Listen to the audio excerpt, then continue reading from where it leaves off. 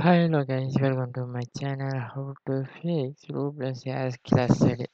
Please perform your windows, you will clean boot. Okay, this is the Roblox error problem, then by step follow to solve this problem. Okay, then first step for disable the antivirus.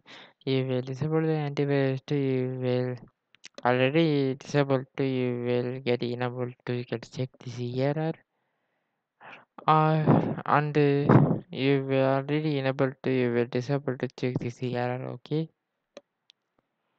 Then step for delete the temporary files.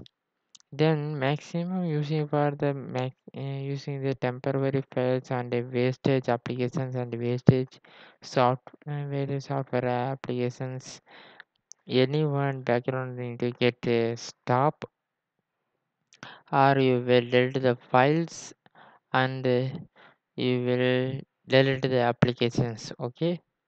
Then this two step for finish it this is a problem issues for always solve it or not solve to you will extra step for update the graphics driver then get open the device manager to the display after you will double click to open to the graphics driver then right click to update driver.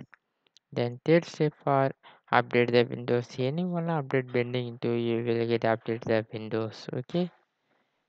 Update the windows to eh, any games errors and applications not error not responding anyone to windows not updating only.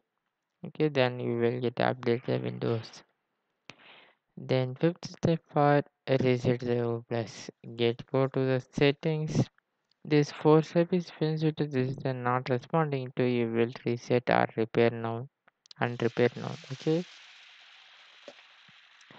Then reset to all data is always deleted then return to you will get login to check this error then finally this first step is for not responding to you will uninstall to reinstall the roblox okay